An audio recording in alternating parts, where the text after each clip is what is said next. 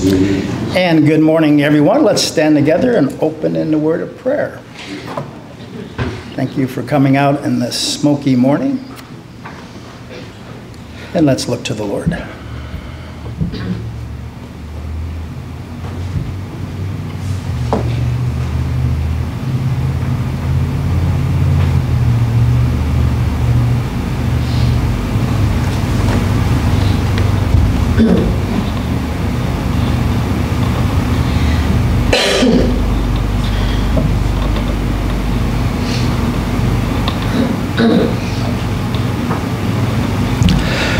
Lord, we thank you for this Sunday morning, this Lord's Day, that we honor you, always remembering the resurrection of thy divine Son who shed his blood on the old rugged cross, bled, died, robed in blood, crowned in thorns, went to the tomb, third day rose miraculously, ascended to heaven, sitteth at thy right hand ready to bring salvation to all who will look to him for salvation. Thank you for these looking in over the internet. Pray that you give us a good connection as always. We pray. Pray for those who are traveling, and Lord, this is July and August, and so families are coming and going. Pray for journey mercies for them, and as I mentioned, we are in the throes of uh, smoke and have been for a while, and the heat, and yet, Lord, we know that waters can't drown us, fires can't burn us, except to be thy will.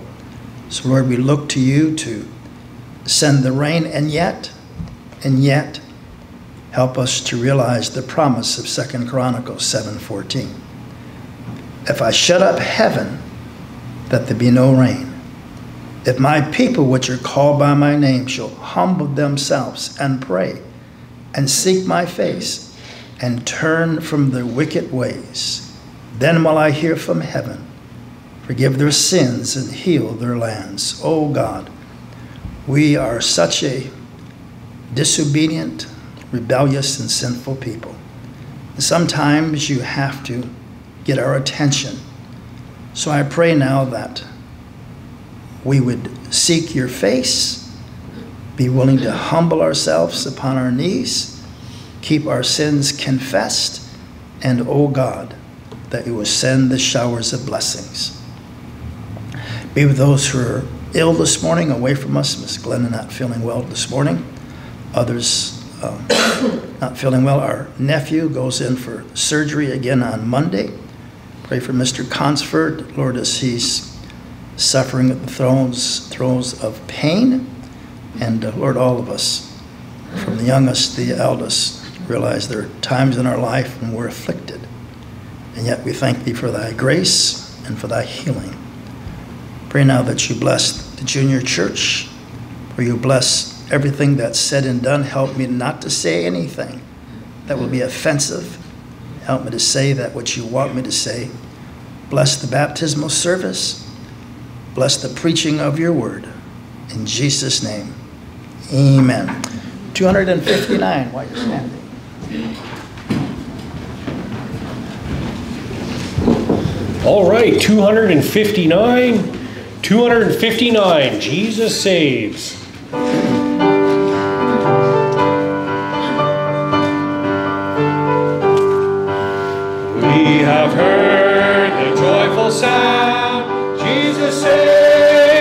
Jesus saves. Spread the tidings all around. Jesus saves, Jesus saves.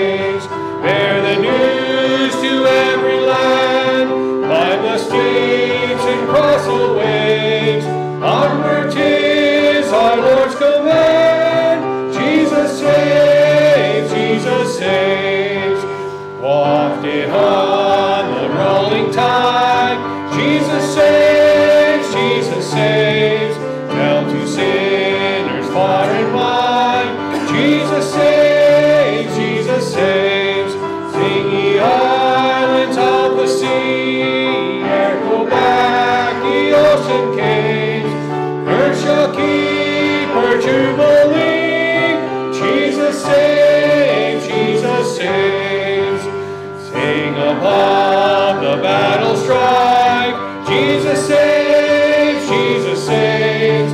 By his death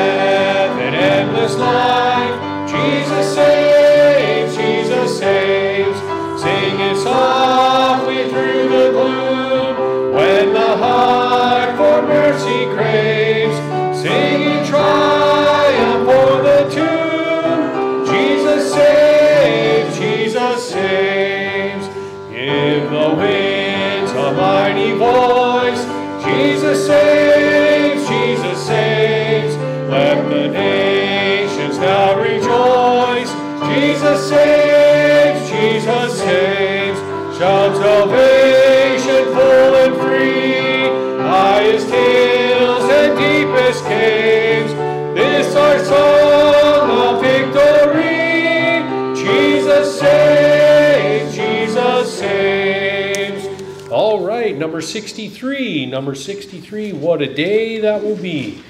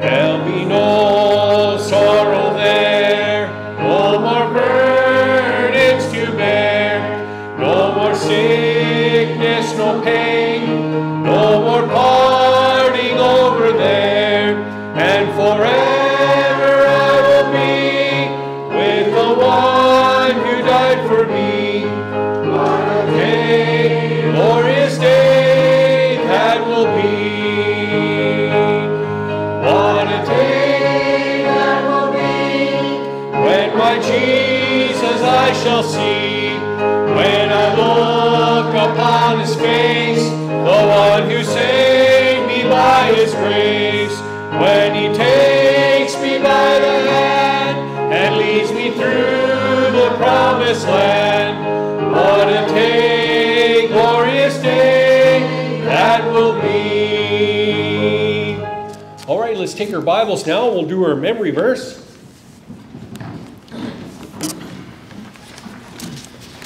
We'll tu- turn to the book of First Thessalonians.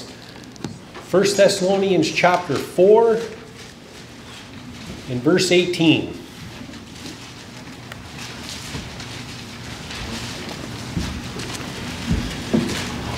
First Thessalonians 4 18. All right, we'll read it together four times as we normally do. Beginning now. First Thessalonians chapter 4 verse 18. Wherefore comfort one another with these words. First Thessalonians chapter 4 verse 18. Wherefore comfort one another with these words. First Thessalonians chapter 4 verse 18. Wherefore comfort one another with these words. First Thessalonians chapter 4 verse 18. Wherefore comfort one another with these words. All right, you may be seated and we'll turn our hymn books again. We'll turn to number 96. Number 96, God leads us along.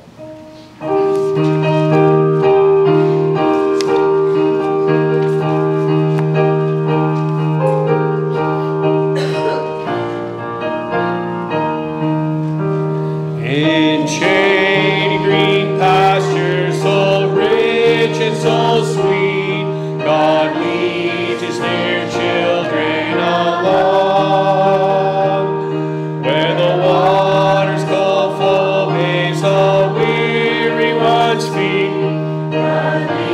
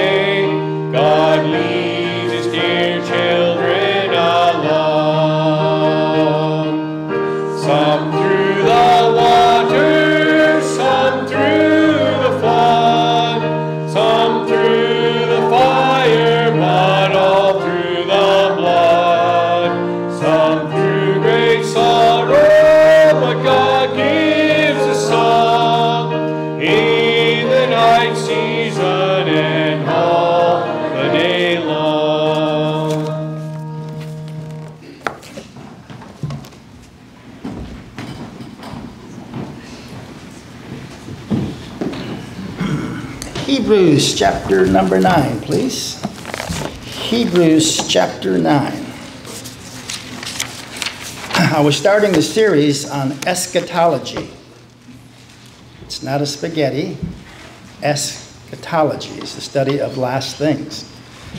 And I was going to do a study on the rapture and the second coming. I began it last week with our blessed hope. But then realizing it's July and we're in the throes of summer, many are coming and going. So I thought, as I prayed about what I was going to preach, the Lord led me in this direction.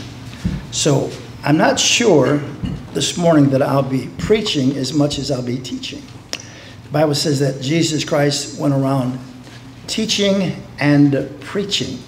The former treaties have made O Theophilus of all that Jesus began to do and to teach until he was taken up. So, teaching is so important. Preaching, someone said, is teaching with the tear in the corner of your eye. So, I'm going to go into hermeneutic studies. What is hermeneutic studies? Hermeneutics is the science of the Bible. If you're going to understand the Bible, you have to understand what the Bible teaches and what the Bible says. Paul said to young Timothy, Study to show thyself approved unto God, a workman that needeth not to be ashamed, rightly dividing the word of truth. So I'm going to teach you a principle from hermeneutics called the threefold principle. The threefold principle. You think about the number three, what do you think about? Well, you think about the Trinity God the Father, God the Son, God the Holy Spirit. You think about the Trinity, you think of yourself. You're a body, people can see. You're a soul, your emotion, and then spirit. God is a spirit, and they that worship him must worship him in spirit and in truth. We think about this threefold principle. We realize that our salvation is in three parts, really. Three parts. First of all, you have justification, then you have sanctification, and then you have glorification. And uh, so our salvation is really in three parts. We're saved from the, so if you can get this in your mind, we're saved from the penalty of sin when we get saved. Every day of our lives, we struggle with the world, the flesh, and the devil. And every day we can have victory over the power of sin. And that, of course, is when we set ourselves apart for the Holy Spirit to control our lives. So we're saved from the penalty of sin daily if we choose from the power of sin. And then one day, hallelujah, our salvation will be consummated. And that will be glorification. And we'll no longer have to worry about disease. We'll no longer have to worry about headaches, colds, coughs, earaches, heartaches, toe aches, and all those things that we suffer in these bodies because we will have a glorified, brand new body. Now, here in Hebrews 9, and also in 2 Corinthians chapter 1, we're not going to turn there now, but we find this threefold principle on the matter of our salvation. So, Hebrews chapter 9, and they're kind of going reverse order. But Let's notice now, verse 24. And by the way, if you didn't read your Bible this morning, you got an awful lot of verses this morning. And uh, so I sent you the context of what I'm preaching this morning. So if you've read it, then you have where I'm going to be coming from. And by the way, sometimes you probably think I'm a mean old man. Sometimes I may appear to be a mean old man. And sometimes you may think that my preaching is hard and difficult and condescending, but it's not. Uh, my desire is to be faithful to the Lord and preach His word. Now, I want to say this in love and in kindness. Beloved, if you do not have a Bible, if you do not read your Bible, remember, Bible is Jesus in the book. In the volume, it is written of me, I come to do thy will, O God. He take away the first, that he may establish the second. If you don't have a Bible, my beloved, if you do not read your Bible, if you do not study your Bible, if you do not memorize your Bible, then you're in trouble. You're in trouble. If you don't have a Bible, well, the Bible tells us faith comes by hearing and hearing by the Word of God. So the only way that you'll ever hear about heaven won't be through some bird, won't be some supposed prophet. I was uh, sent some information this week about uh, the attempted assassination last, last Saturday of the former president of the United States.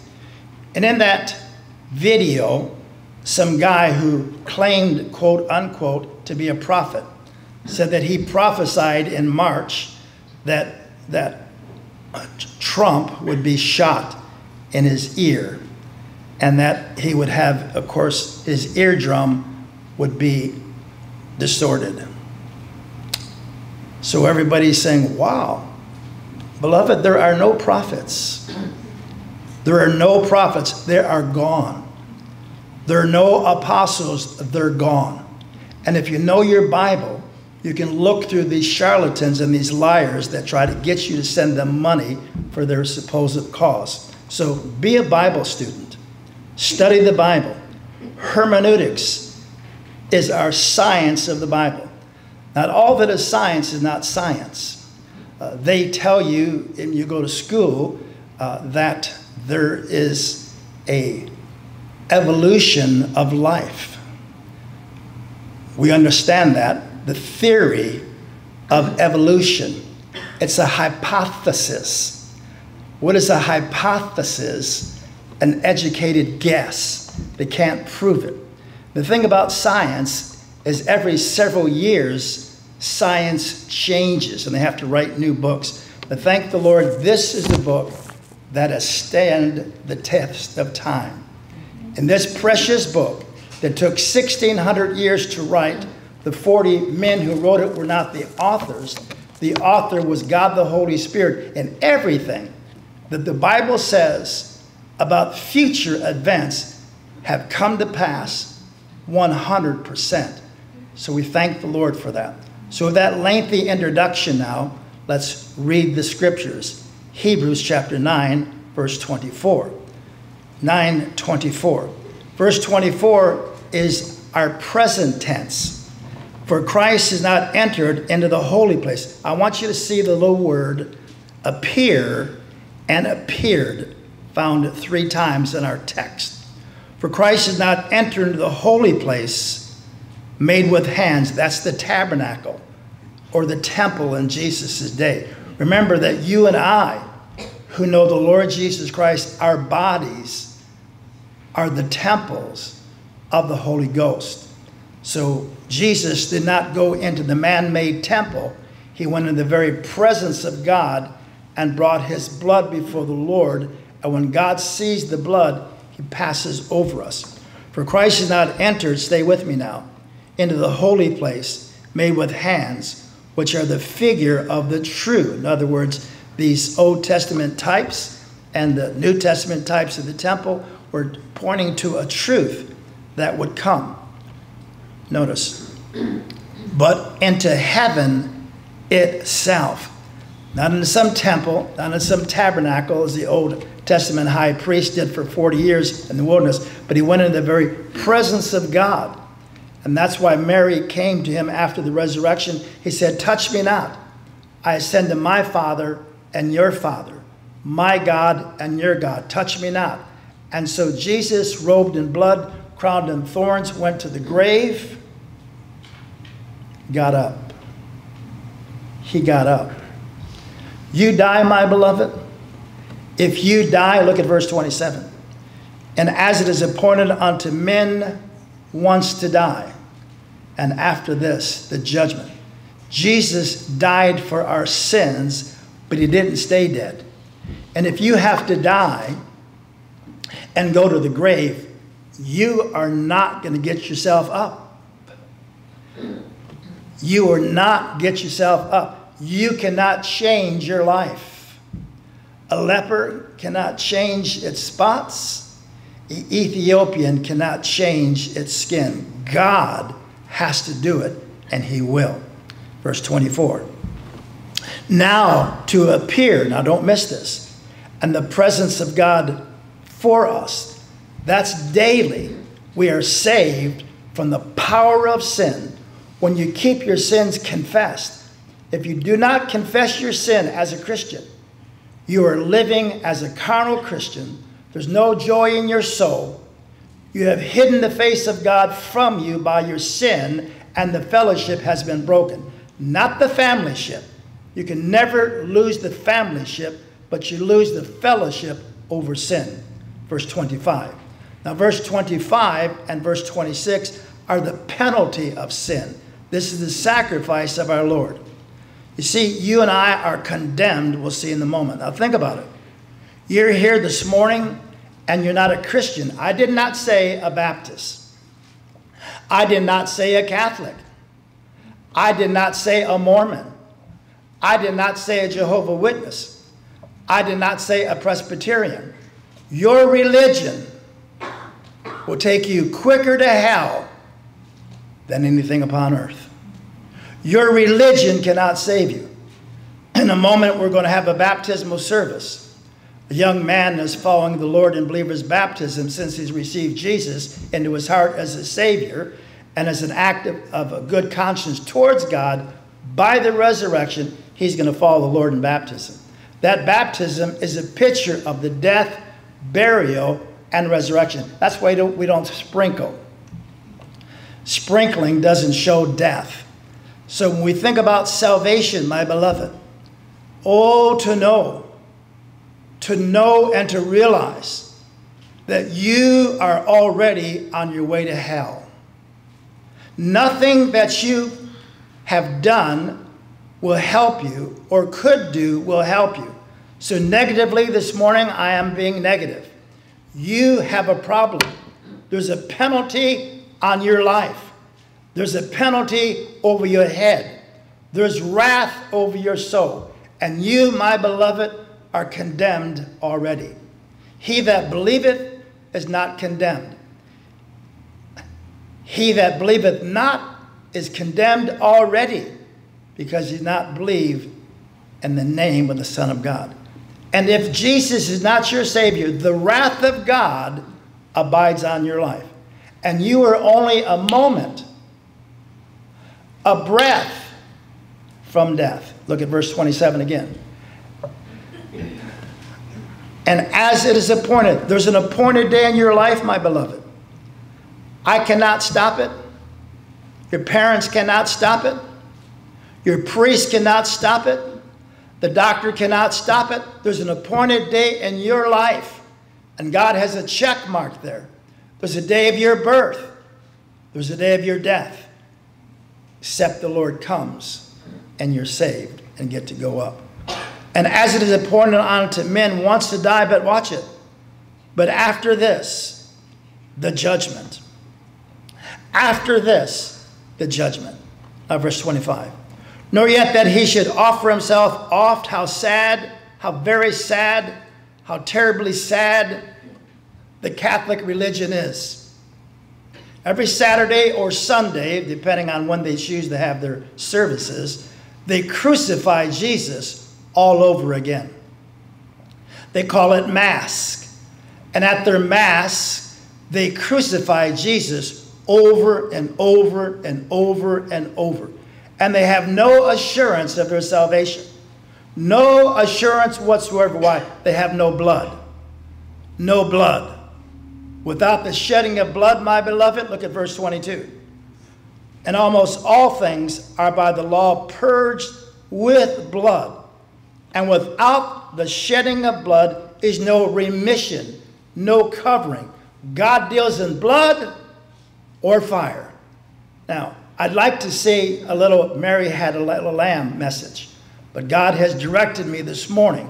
And if you sit there this morning, you're listening over the internet, and you are not washed in the shed blood of Jesus Christ, you are condemned already and on your way to hell. And there's a penalty over your life, my beloved. You are judged already because of Adam. Wherefore, as by one man, Romans 5:12, sin entered the world, and death by sin. And so death passes upon all men, for that all have sinned. Reading on. Nor yet that he should offer himself oft every year. Every year. Hebrews 9, Hebrews, every year. The 10th month, the seventh day, the priest, the high priest would go into the holy place, and then he would go into the Holy of Holies. And he would take an offering there, and the blood offering and it would sprinkle upon the altar. And every year they would do that ceremoniously. Every year, making that sacrifice. That could never take away sins. Never take away sins. Look at Hebrews chapter 9 and verse 11. But Christ being come a high priest, hallelujah. He's my high priest. He not a man, though he was very man, very God. He's my high priest.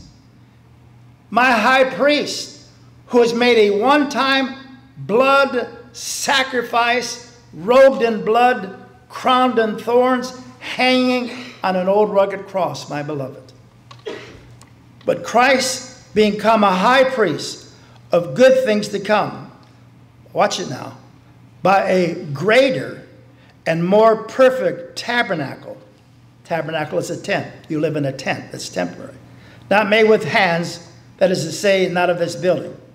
Neither, now please watch this now, neither by the blood of goats and calves, but by his own, see it, blood. He entered once. How many times? Once. Once. Once and for all. Hallelujah. Under the holy place, having obtained what? Eternal salvation. Eternal salvation. Praise the Lord.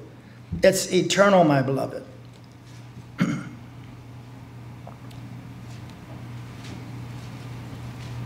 Eternal redemption is what I meant to say. Now look at chapter 10. Let's look over in chapter 10. What are you doing this morning, preacher? I'm teaching. So if you want to pass, pay attention. You want to pass, please pay, pay proper attention to the Word of God. For the law having a shadow of good things to come. I'm reading Hebrews 10 1.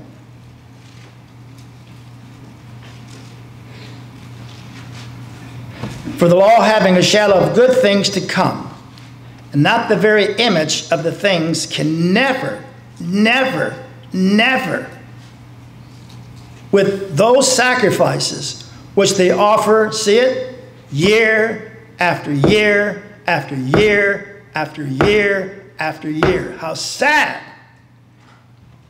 How very sad that one of the largest religions in the world, next to Muslims, Muslims have surpassed the Catholics now. 1.6 billion Muslims in the world. What do they teach? Allah is God, which is a lie out of hell. There is no such thing as Allah.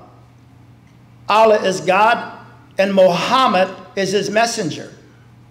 No sin question, no blood question, no sin nor blood question. So to become a Muslim, all you have to recite is Allah is God and Muhammad is his messenger, and you get to get into hell. That's what that does. In Catholicism, 1.4, think of this number, billion Catholics in the world. You say, You're awful mean. I was born a Catholic. I was born a Catholic. And when you ask a dear Catholic person, I'm talking about a real follower of Catholicism, if you ask the proverbial question, if you die today, would you go to heaven? You know they'll say to you? No. If they're honest, they'll say no. Why? Because no Catholic is going to heaven when they die. Where do they go? They go to purgatory. No such thing as purgatory, my beloved. And let me say this. You say, What are you doing? I'm teaching the Bible. I'm telling you the truth about salvation. If I can shake your religion this morning, you have no foundation. You have no standing. My standing is Christ. My hope is built on nothing less than Jesus' blood for my soul. My hope is built on nothing less than Jesus' blood and righteousness. I have no righteousness. So, my beloved, if you're trusting your Catholicism, you're lost.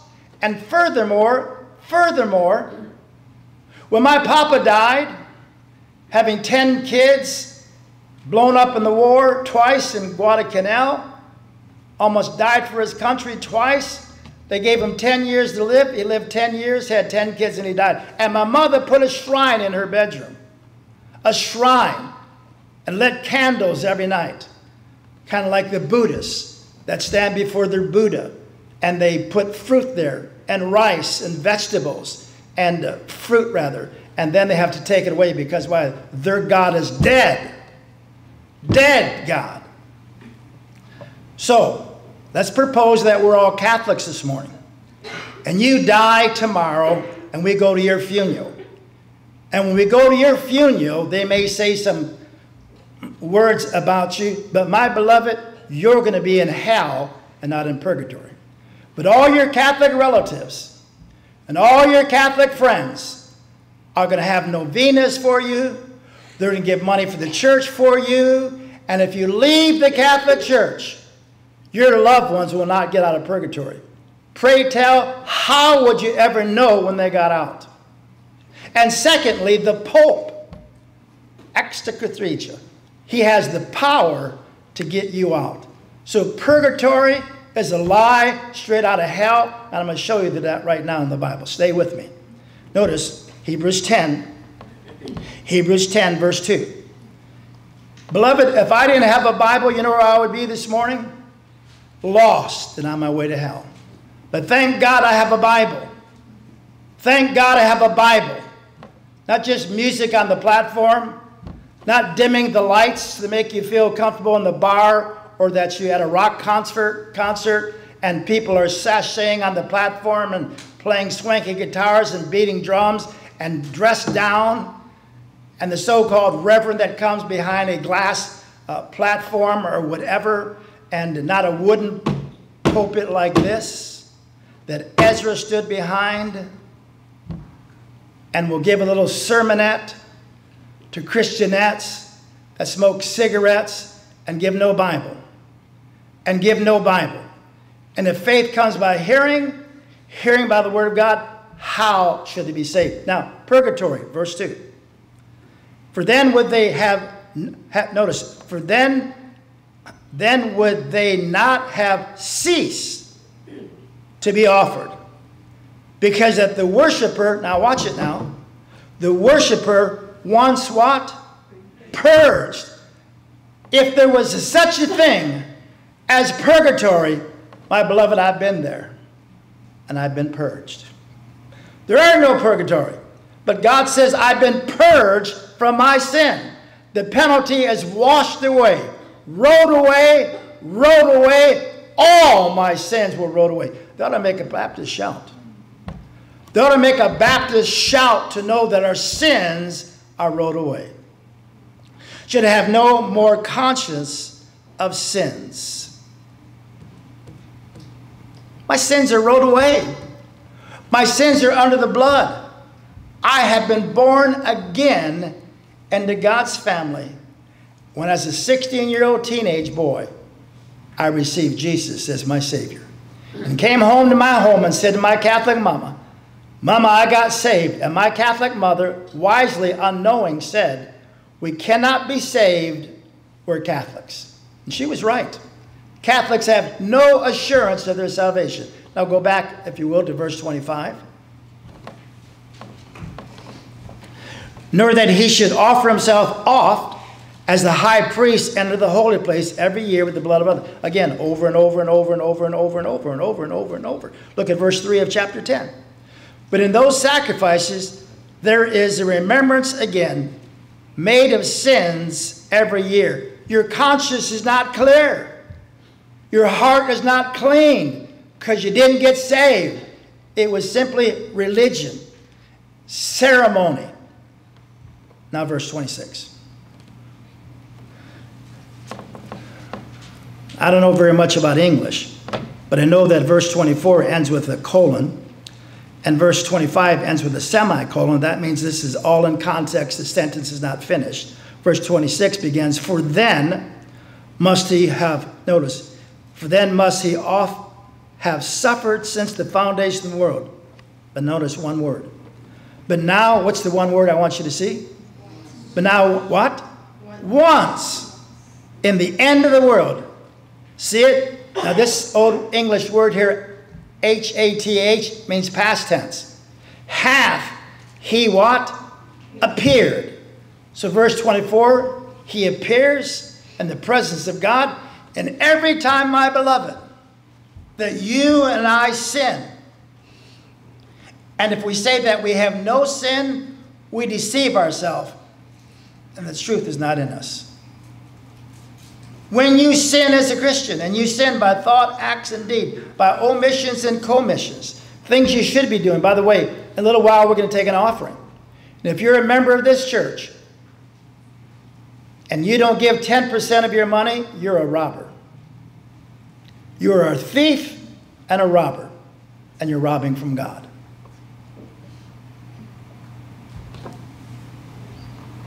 Just preaching now. I'm just preaching to you. So the Lord Jesus at the right hand of the Father, do you not think he sees you and me?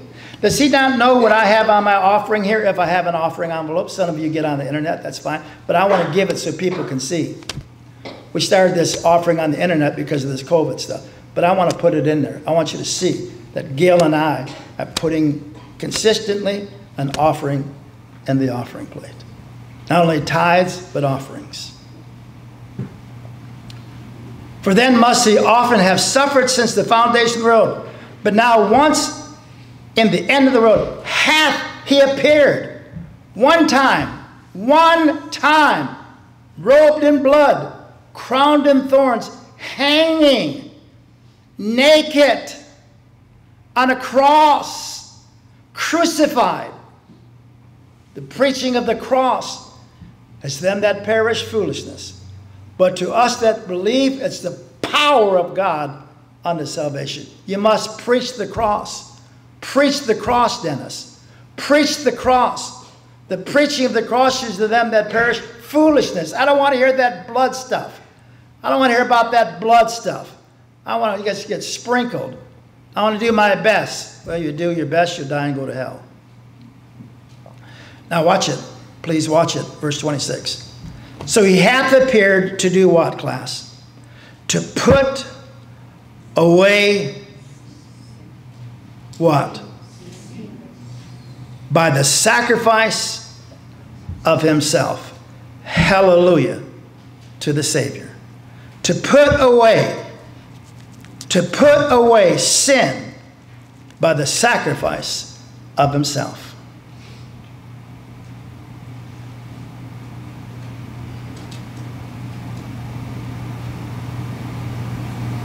Look at verse 16.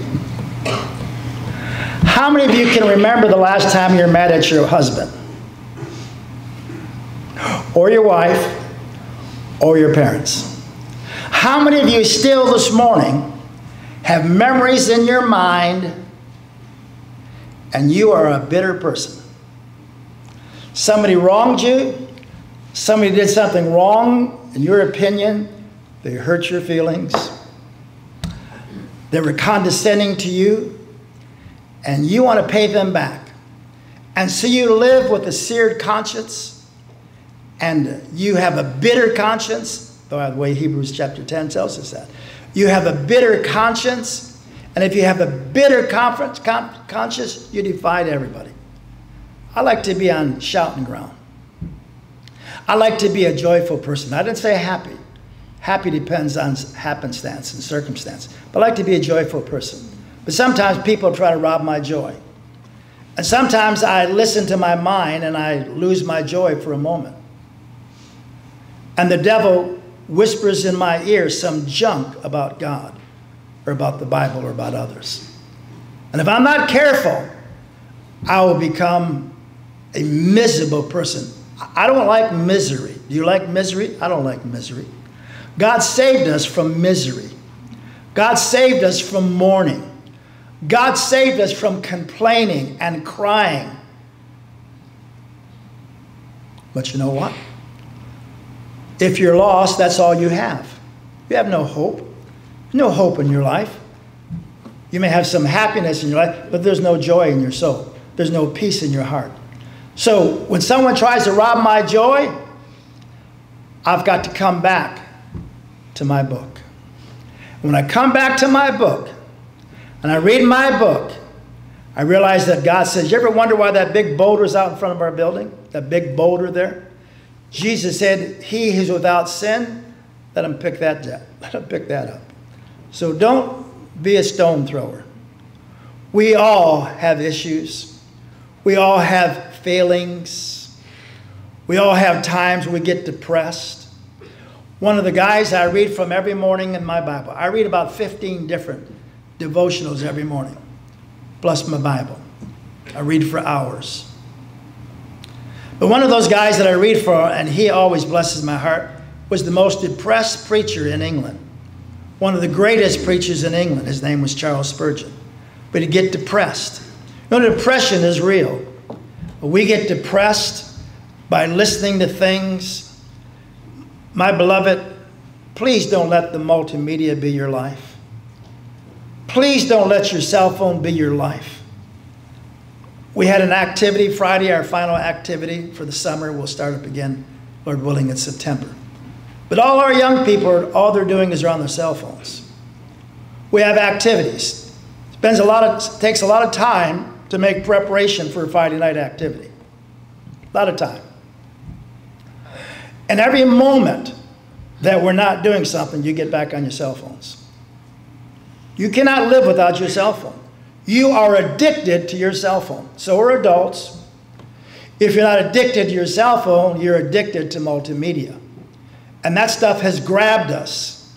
Uh, by the way, you should not have a Bible on your cell phone unless you're driving back and forth to the plants and not carrying your Bible. You should have a real Bible.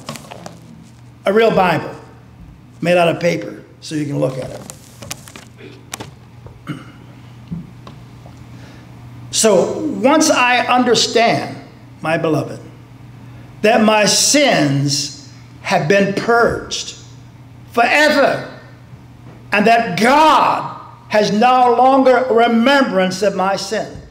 Years ago, a preacher in, in England's father worked for a company. He had his own motor company at that, at that time. And the Rolls Royce came out. And the Rolls Royce that came out was a tremendous automobile. And somehow one of these Rolls Royces, it broke down. It broke down. And so they contacted this motor company, and Rolls Royce said, Now you go to that such and such company there, and they'll take care of the car. And when they took care of the car, the owner drove off, but he never got a bill. And when he contacted Rolls Royce, he said, There's no bill from my car. And they said, they said, We have no record of your car ever breaking down. And God says, I have no record of your sins. They've been washed away. Why live a life condemning yourself when your sins have rolled away? Well, I'm not sure I'm saved. Is God a liar? Does God not keep his word? Thank God I'm saved from the penalty of sin, daily from the power of sin. And hallelujah, one day I'll be saved from the very presence of sin. Sin no more. A glorified body. We have so much in Christ. So much. Look at verse 16. Hebrews 10 16. This is the covenant, that means a contract, that I will make with them after those days, saith the Lord. I'll put my laws in their hearts, in their minds will I write them. And their sins and iniquities will I remember no more. Verse 22. Let us draw with near with a true heart and full assurance. I have assurance, not insurance, assurance. Paul said, I'm persuaded that he's able to keep that which I've committed unto him until that day. Praise the Lord, in September of 1962, I got born again. I got born again. I got saved. But I never had the assurance of my salvation. My precious mother, who knew no better, said, We cannot be saved, we're Catholics. The church that I attended had a split. I didn't know what a split was, but no longer had a way to church. I no longer had a way of church. And for several years in my life, I walked away from God. And I went into the world as a poor boy, as a teenager, I didn't even have shoes. We were poor and wretched, urchins, dirty, nothing, poor. And then I got to make money. And money began to take the center of my soul and of my life. And I wanted more money. I wanted to make more money. And God was not the center of my heart, but the center of my life. And there's scars in my life. There are scars in my life that I wish I could remove. God has removed them, praise the Lord. But every once in a while, the Holy Spirit will bring them back to my mind. And I remember all that neighborhood that I went through, all that thing that I did in my life. Yes, they're forgiven. God has forgotten them, but Satan doesn't forget them. And Satan will bring them in your mind And you'll say, What's the sense of going on? I'm such a sinner. Yes, you are, and so am I. But my sins have been purged. And every day of my life, when I sin, I confess it. I get it right. Nobody has to say to me, Dennis, you sinned. Let me say this. If you ever go up to someone and say, if I offended you, you're, forget about it. You might just shut your mouth right there. If I, you know you offend someone. You know you anger someone. You know that you're condescending or jealous or envious of someone. You don't have to go up, if I offended you. Shut up. The same first moment you put the word if there, you don't mean it. I offended you. I stopped you from following the Lord by my testimony as a teenager. Followed the wrong crowd, the wrong group. Maybe you were the leader. Oh, God, that our teenagers would get right with God and love God and honor God and worship God in your lives. The world has nothing for you but sin and degradation and judgment and condemnation and heartache and sorrow. That's what the world offers for you. But God has given you joy. Unspeakable joy. Unspeakable joy that the world does not offer you. But I know that you get wrapped up. I understand it. Our flesh is weak. The spirit is strong. Somebody bring me a Kleenex, please. Our spirit is strong, but our flesh is weak. Just give me the box. Thank you. Sorry about that.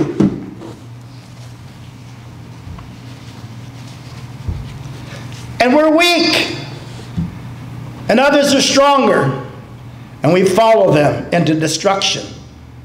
The whole book of Proverbs begins that. My son, if sinners entice thee, consent thou not. Consent thou not. Say no. We're going to go to this party. It'll be okay. Friends are there. There are predators there. There are predators there looking for your daughters, looking for your son. There are predators there.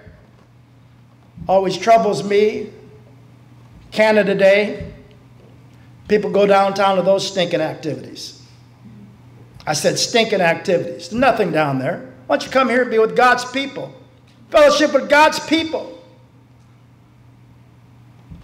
The road is nasty.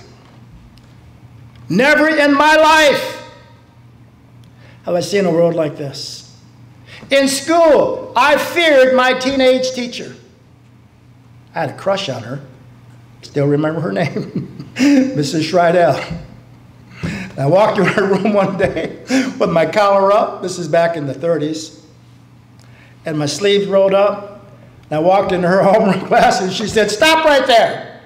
She put my collar down rolled my sleeves down. She said, We don't dress like this, Dennis. If you did that today in the school that you'd go to, you'd sue them. The world is going to hell, and we're the only light. We're the only buffers. All to be for Christ, to be for the Lord, to say, I live for Jesus. I'm not coming to your party. I'm not coming and trotting my little body around, showing my belly button or my breast or my other body parts. Have mercy! Have mercy! If you're saved, your body's the temple of the Holy Ghost. Verse 22. Let us draw near with a true heart and full assurance of faith, having our conscience, see it? Having our conscience sprinkled, sprinkled from, a, notice, our hearts sprinkled from an evil conscience, and our bodies washed with pure water. Was that baptism? No, that's the word of God. Ephesians 5.24, 5.26. Let us hold fast the profession of our faith without wavering. For he is faithful that promised. Oh, my beloved. If you have no Bible, you have no promises. If you have no Bible, you have no life. If your Bible is not the center of your life, you have no life. And you get offended every time I preach about sin, or separation, or standards, or surrender. It offends you. I talk about tithing, and you're a thief, a common thief, a common thief. You steal from God every week.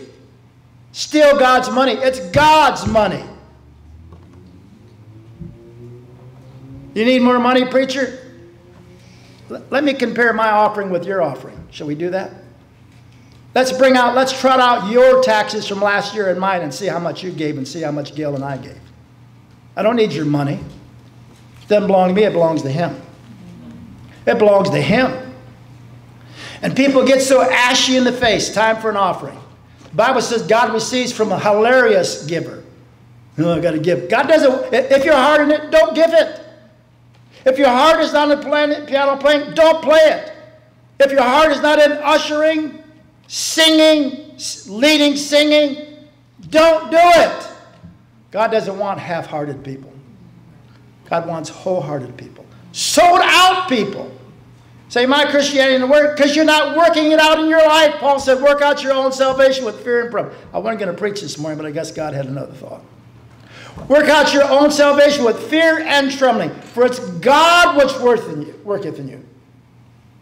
It's God which worketh in you, both to will and do his will. God's working in your life.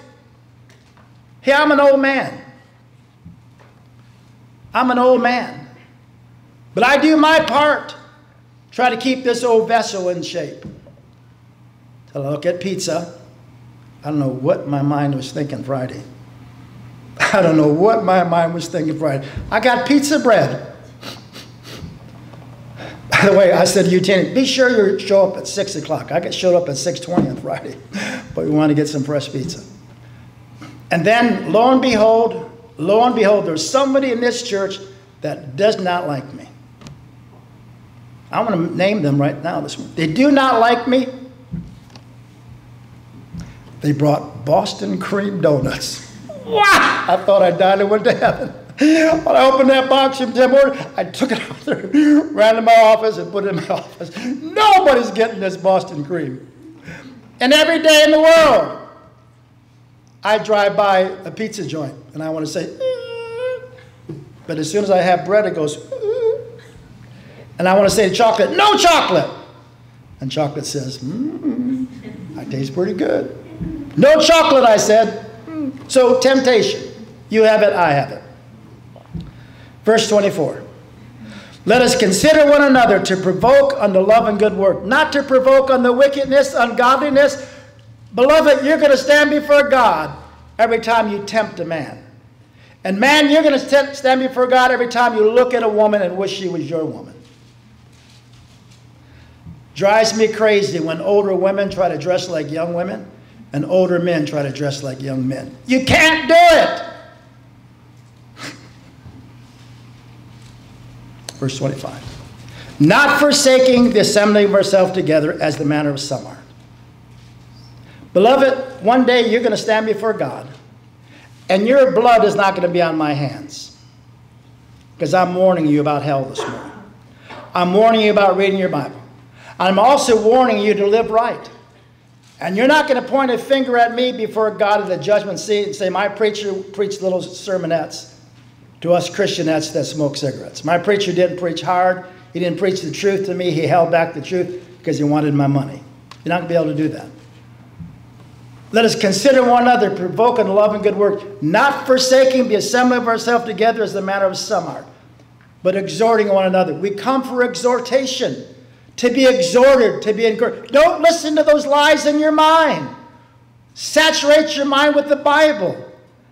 Those lies come to your mind and you are condescending to your own self. You're shooting yourself in the foot. Listen to what God has to say. God says, I'm fearfully and wonderfully made. Marvelous are thy thoughts unto me. And God's love is an everlasting, eternal love. And he loves me. He loves me. You know, we, we, need, we need love. I didn't say lust. We need love. Real agape, arms around, tight hug, love. Maybe you need a hug this morning. Let's all stand up for a moment. See, our preacher has lost his mind. Well, I never had one. Let's stand up for a moment. Stand up.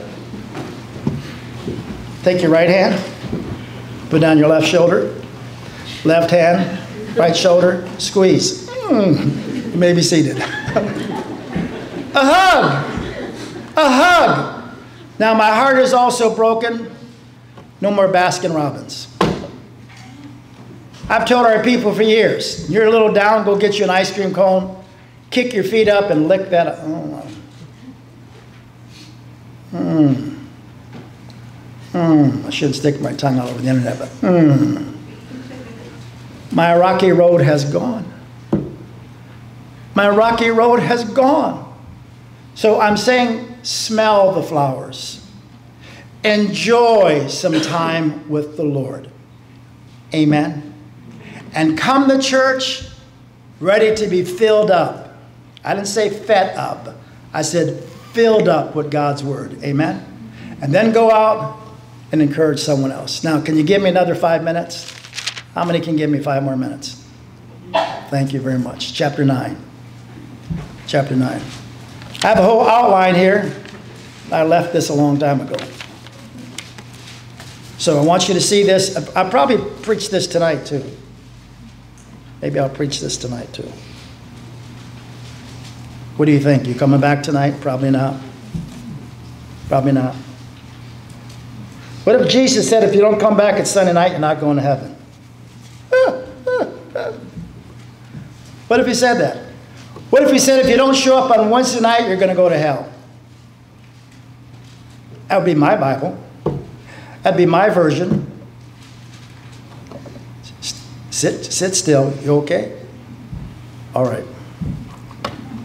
Verse 28. I want you to notice again. Verse 28. So, verse 24 is the center. Verse 25 and verse 26 is the beginning. Verse 28 is the conclusion. So, verse 24 is the middle. Okay?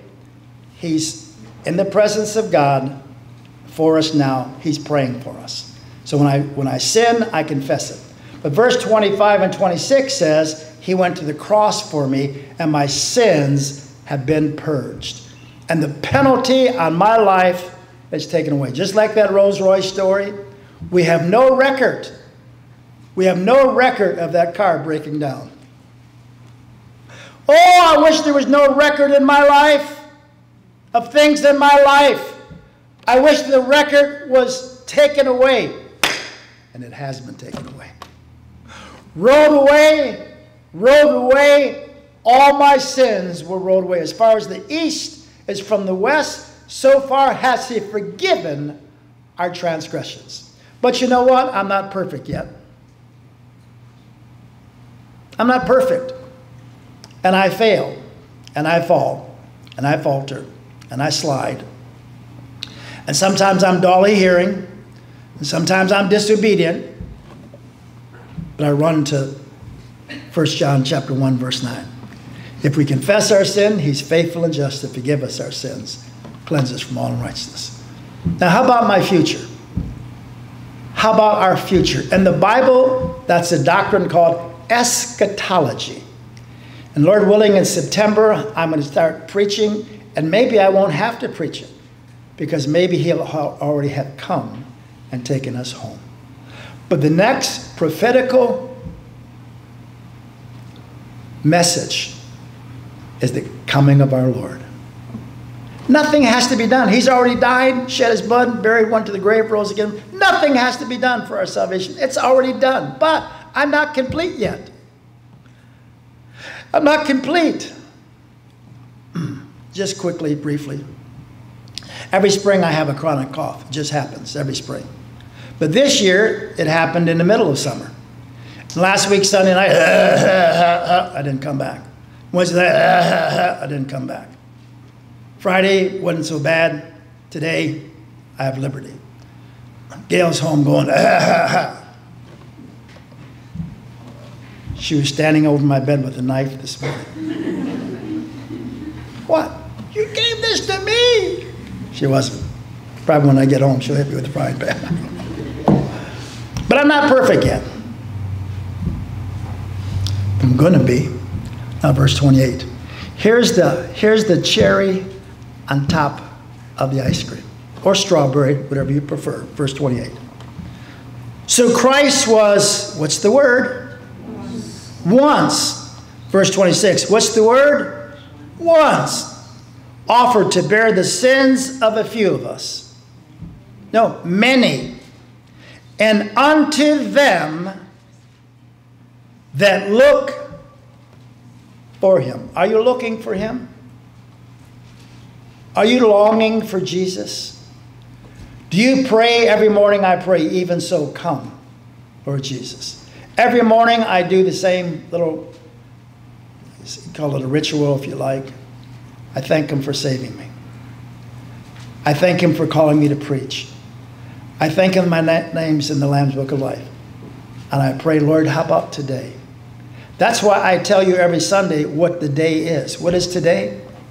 203, better known as July 21st. This is the 203rd day of 2024. Now, He's coming. I don't know the day that He's coming, but He is coming. And I'm looking for Him. Are you looking for Him? Are you saying maybe as a teenager, wait till I get married? Are you saying, wait till I get a good job? Are you saying, wait till I graduate college? Are you saying, wait till I get that convertible? Whatever you're saying. That may not be in God's plans. And if He came today, it'd be all right with me. Would it be okay with you? It'd be all right for my nephew suffering with diabetes to the point where he's lost an eye, he's lost a kidney, he's lost a leg. It looks like Monday he'll lose his second leg young man in his early 50s. Diabetes is no diabetes is no walk in the park. Diabetes is serious business. I think of my beloved brother, Gary Peisinger. I love that man. Led him to the Lord. Died, of course, of neglecting his diabetes. I love him. He's gone, he's with the Lord. But he neglected his diabetes. Diabetes is serious business. These bodies are serious business. Now let me finish. So Christ was once offered to bear the sins of many. And unto them that look for him, are you looking? Shall he appear? Now watch this. Shall he appear? Now see it? The second time without sin. What does that mean? That means he won't have sin? No, that means he'll not have to be our sin bearer again. He's not coming to die again. He's coming to take us home and give us brand new, spanking, shiny, glorified bodies. Wow. Wow. See it? For then must he often have suffered since the foundation of the world. Or, sorry, I'm reading verse 26, verse 20. So Christ was once offered to bear the sins of, the, of many. Now, what is that specific? Look at verse 27. This sentence is still going on starting again in verse 17 or 27, you have a colon. And as it is appointed unto man once to die, but after this judgment, colon. So Christ was oft, Christ was once offered to bear the sins of many, and unto them that look for him shall he appear the second time without sin unto salvation. That's our consummation. My salvation will be complete. Yes, the moment I got saved, it's complete. I'm saved from the penalty of sin. Daily, I'm saved from the power of sin because I sin. I don't want to sin, but I sin. I'm tempted and sometimes I'm weak and I sin, but I get it right. 1 John 1 9. But one day, hallelujah, he's coming, and my salvation that is in three parts penalty, power, presence. I'll be saved, hallelujah, from the very presence of sin when he comes. He's coming could be in our lifetime. Shall we stand together? Our heads are bowed and our eyes are closed. Our heads are bowed and our eyes are closed. No one looking around, peeking.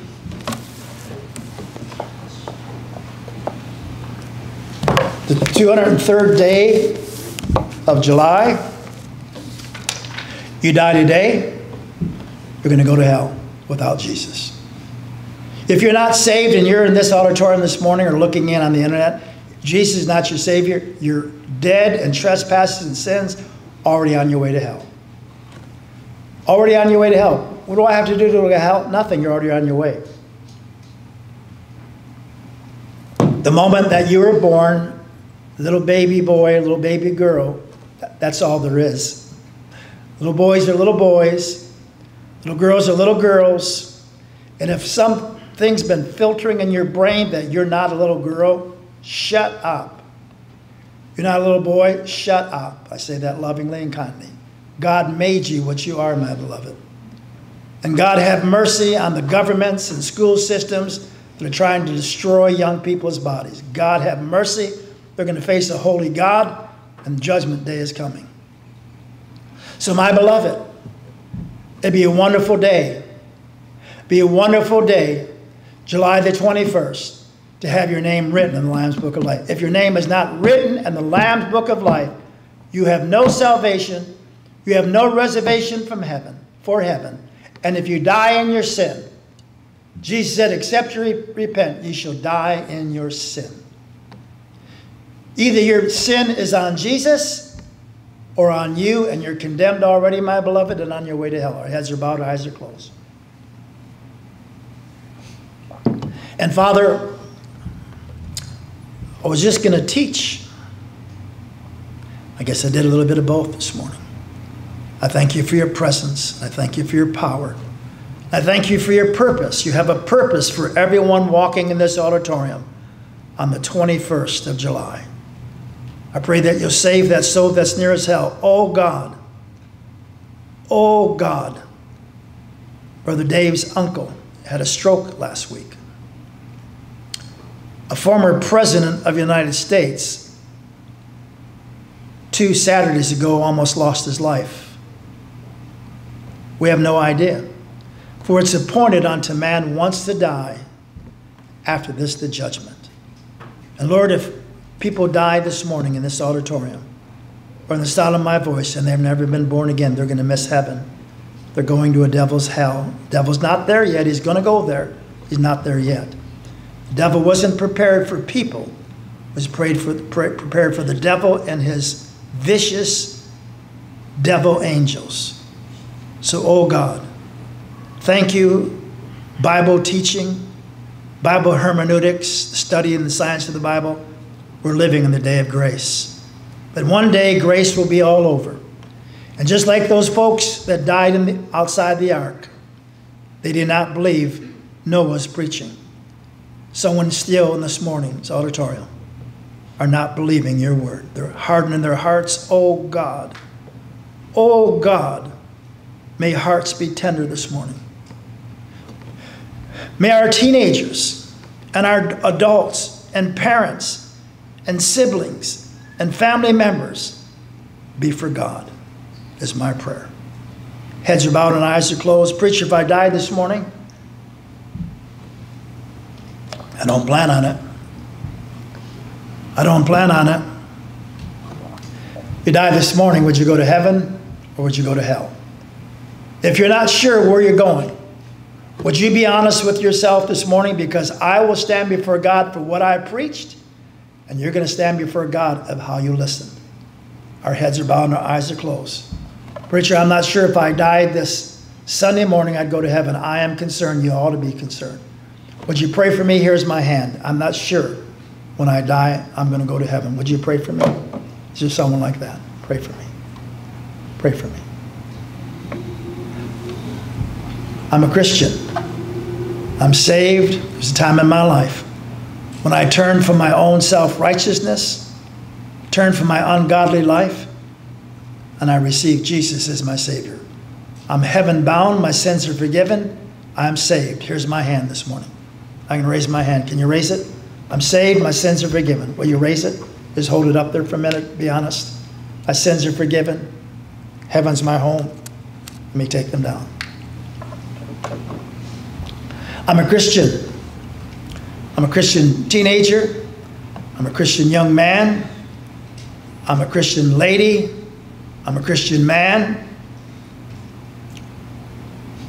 But I've lost my joy. I'm living a mediocre life. I'm living a life that's not pleasing to the Lord. He knows it and I know it, and I'm miserable. And I'm tired of being miserable. Preacher, would you pray for me this morning that I'll get some things settled in my life as a Christian? And I will present my life to the Lord. A surrendered, sacrificial life for the Lord. Would you pray for me this morning? That's my desire. That is, would you raise your hand? It's a big, it's a big quest. I need, I want to surrender my life. I want Jesus to own my life. Lock, stock, and barrel. Pray for me. Pray for me. Don't raise it if you don't mean it. Let me take it down. There are some unspoken requests in my life. We all have them. Unspoken, something that you spoke about. Maybe there's some sin in your body, some sin in your life, something you just can't seem to get victory over. Jesus said, You should know the truth, and the truth shall make you free. Some something in my life unspoken. Would you pray for me? Here's my hand. Here's my hand. Here's my hand. A lot of hands go up. And Father, you see into our hearts. I love you for that. I thank you for that. You see my worthless life, my failing life, my life that sometimes is suspect. And Satan gets a hold of my ear and he tells me all kind of nasty things about me. But sometimes the Holy Spirit shows me some things about myself. And I want to keep short accounts and keep it confessed and be filled with thy spirit all the day long. All the day long, Lord, you know that I surrender and say, Oh God, oh God, have mercy. And so, Lord, I pray you bless this invitation. Have your way in this invitation in Jesus' name. Amen. Number 107, 271. Need to come for prayer? Would you come on the first stanza? 271. Singing, coming, praying. I've wandered far away from God. Now I'm coming home. The path of sin too long I've trod. Lord, I'm coming home. Coming home, coming home, never more to roam. Open wide thy arms of love. Lord, I'm coming, singing, praying. Would you come now? I've wasted many precious. Now I'm coming home. I now repent in bitter tears. Lord, I'm coming home. Coming home, coming home, never more to roam. Open wide thy arms of. Lord, I'm coming home. Listen. I'm tired of sin and straying, Lord. Now I'm coming home. Listen. I'll trust thy love, believe thy word. Lord, I'm coming home. Oh, that we would do this. Coming home, coming home.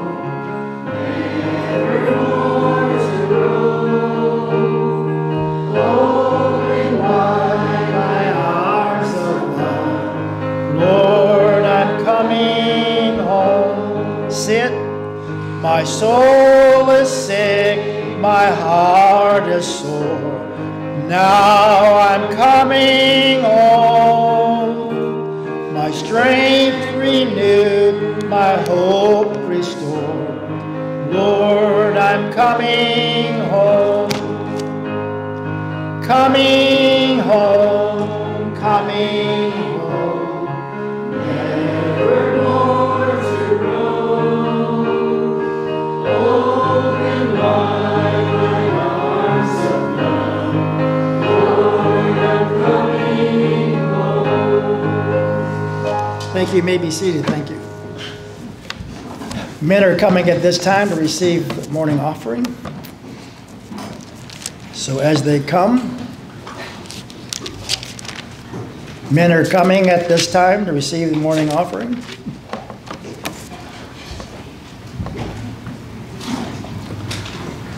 when should the offering be taken? I don't know. When do you think would be a good time?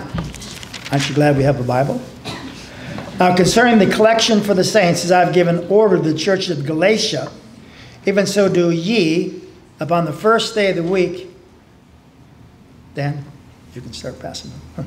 it's been a while since you've done this. Upon the first day of the week, let every one of you lay by him in store as God had prospered him, that there be no gathering when I come. Well, the store is the storehouse, better known as the local church. Somebody calls you and says, we, we, need, we want you to give to this. Just tell them I give my money to my church. That'll stop those phone calls. And when I am come, whomsoever ye shall approve by your letters, then will I send to bring your liberality unto Jerusalem. And if it be meet that I go, also they shall go with me. Now I come unto you when I come pass through Macedonia, and I do pass through Macedonia. And it may be that, that I will may abide, yea, and winter with you, that you may bring me on my journey where I go. So the first day of the week, the Lord's Day. If you don't do it on the Lord's Day, it'll be gone by Monday. And uh, so we've always honored God first with our tithe, paid our bills, paid ourselves, and paid others. So you give to the Lord this morning.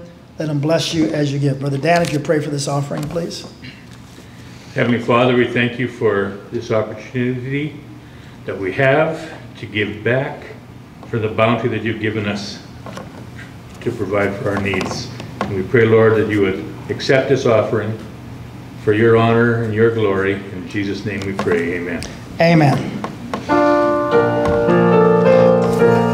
And I need a couple guys to come and move this pulpit over there.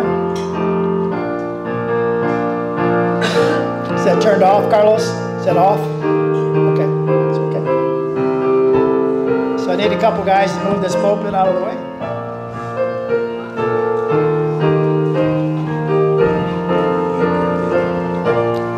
It up.